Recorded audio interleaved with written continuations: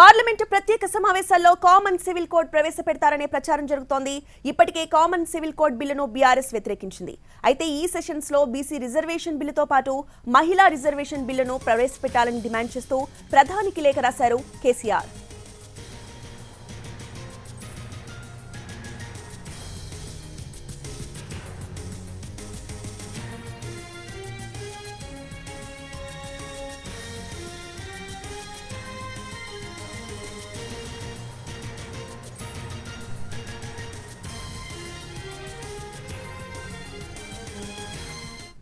BRS parliamentary party సమావేశంలో CM KCR చేసిన comments పై పూర్తి అనాలిసిస్ని మా తెలంగాణ బ్యూరో చీఫ్ దొంతు రమేష్ అందిస్తారు. రమేష్ చెప్పండి జమిలీ ఎన్నికలపై సీఎం కేసీఆర్ చేసిన హాట్ కామెంట్స్ని మనం ఎలా చూడొచ్చు? ఈరోజు ప్రగతి భవన్లో బీఆర్ఎస్ పార్లమెంటరీ సమావేశంలో పాల్గొన్నారు. ఆయన ఈ సందర్భంగా కొన్ని కీలక వ్యాఖ్యలు చేశారు. రెండు మూడు అంశాల మీద పార్లమెంట్లో ఎటువంటి గలమెత్తాలి ఏ విధమైన వ్యూహాన్ని అనుసరించాలన్న అంశానికి సంబంధించి ఎంపీలకు దిశానిర్దేశం చేయడంతో పాటు ప్రధానంగా జమిలీ ఎన్నికలపైన ఒక కీలక వ్యాఖ్యలు చేశారు కేసీఆర్.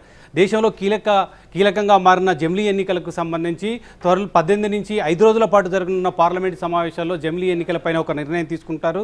బీజేపీ అనూహ్య నిర్ణయం తీసుకొని పార్లమెంటుకు సంబంధించిన బిల్లు ప్రవేశపెడుతుంది లేదా దానికి సంబంధించిన వ్యవహారాన్ని చక్కబెట్టడానికి ప్రయత్నం చేస్తుందని ప్రచారం జరుగుతున్న నేపథ్యంలో కేసీఆర్ ఒక కీలకమైన వ్యాఖ్యలు చేశారు. దేశంలో జమిలీ ఎన్నికల ప్రస్తావన లేదు. జమిలీ ఎన్నికలు వచ్చే అవకాశం లేదు.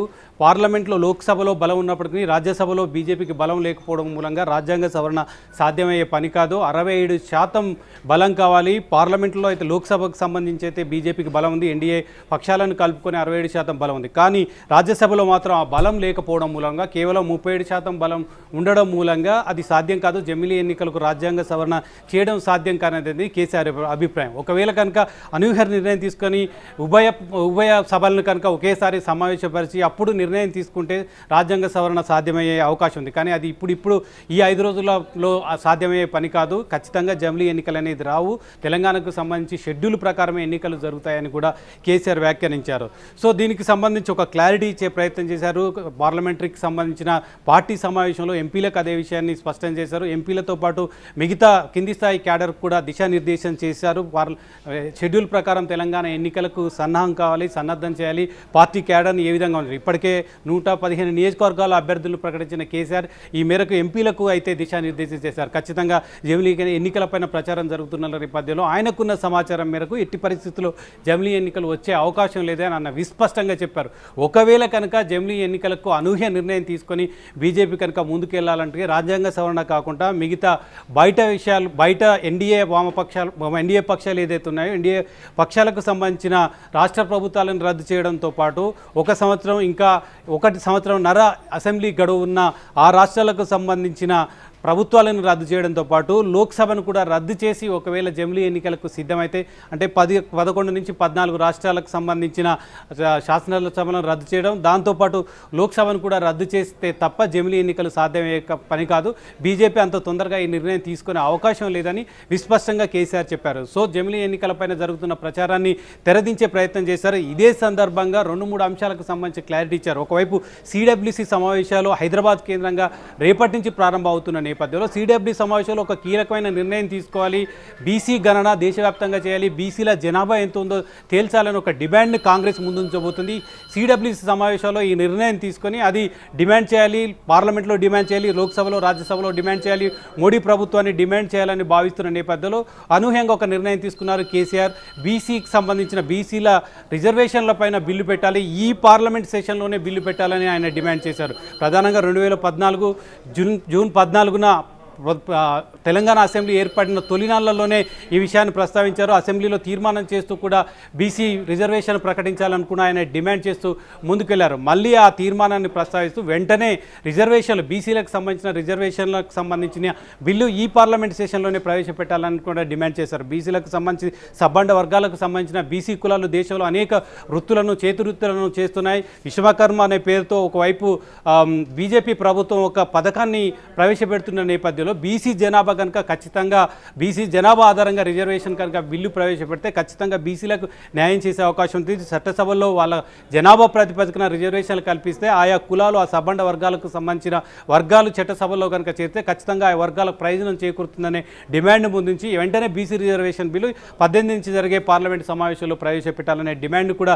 కేసీఆర్ ముందుకు తీసుకొచ్చారు. ఇంకొకటి మహిళా రిజర్వేషన్కు సంబంధించి కూడా మొదటి నుంచి కూడా బీఆర్ఎస్ పోరాడుతుంది. ఇటీవల కాలంలో కవిత కూడా అంశాన్ని అంశాన్ని ముందుకు తీసుకొచ్చింది. ఢిల్లీ వేదికగా భారీ ఎత్తున మహిళా మహిళా రిజర్వేషన్ బిల్లు కోసం పెద్ద ఎత్తున ధర్నా కూడా చేసింది. ఇటీవల కాలంలో తరచుగా కవిత ఇదే అంశం మీద మహిళా రిజర్వేషన్కి సంబంధించిన అంశం మీద మాట్లాడుతుంది. మహిళా రిజర్వేషన్లు చట్టసభలో ముప్పై మూడు శాతం రిజర్వే- రిజర్వేషన్లు కల్పించాలని డిమాండ్ చేస్తూ ఆయన పార్లమెంటరీ సమావేశంలో ఈ అంశాలకు సంబంధించి ఎంపీలు గలం ఇప్పాలి పార్లమెంట్ వేదికగా పెద్ద ఎత్తున బీసీ రిజర్వేషన్ బిల్లు ప్రవేశపెట్టాలని అదేవిధంగా మహిళలకు ముప్పై శాతం చట్టసభల్లో అవకాశం కల్పిస్తూ బిల్లు ప్రవేశపెట్టాలని ఈ రెండు అంశాల మీద ఎంతవరకు అయితే అంతవరకు వెళ్ళాలి పార్లమెంట్ వేదికగా మిగతా పక్షాలు తమతో కలిసి వచ్చినా కలిసి రాకపోయినప్పటికీ కలిసి వచ్చే పక్షాలతో కలిపి పార్లమెంట్ వేదికగా గలం విప్పాలని కూడా కేసీఆర్ పార్లమెంట్ పార్టీ సమావేశంలో నిర్ణయం తీసుకున్నారు. ఆ నిర్ణయం మేరకు ఒక నిర్ణయం తీసుకోవడమే కాదు పార్లమెంట్ సమావేశంలో ఎంపీలకు దిశానిర్దేశం చేయడమే కాకుండా ఆయన ఒక లేఖలు కూడా మోడీకి రాశారు. బీసీ రిజర్వేషన్ల విషయంలో మహిళా రిజర్వేషన్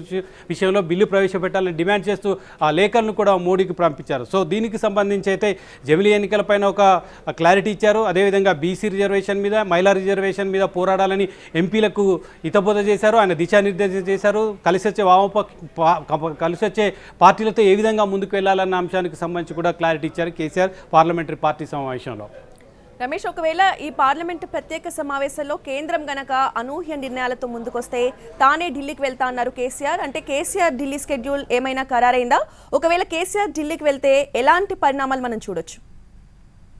ఈ పార్లమెంటరీ పార్టీ సమావేశంలో కేసీఆర్ ఒక అనూహ్య ప్రకటన కూడా చేశారు. అది కాకపోతే ఆఫ్ ది రికార్డులో చేశారు. పార్లమెంటు సమావేశాలు ఎందుకు నిర్వహిస్తుందో ఇప్పటివరకు దేశ ప్రజలకు చెప్పలేదు.